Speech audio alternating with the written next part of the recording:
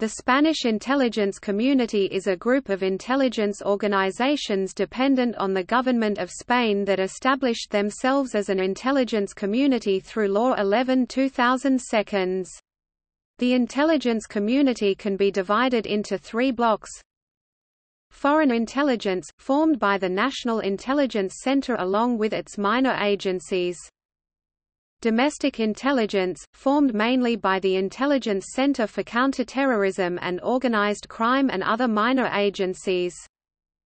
Military intelligence, formed by the Armed Forces Intelligence Center and the agencies of each branch of the armed forces. To all these agencies, must to be added the intelligence agencies from the different police corps of Spain.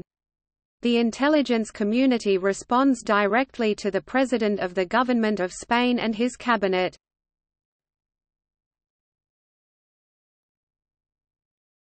Topic: Members.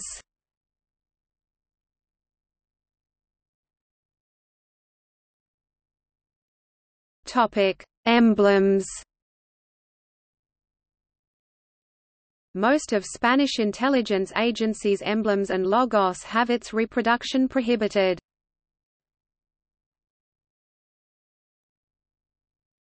Topic: See also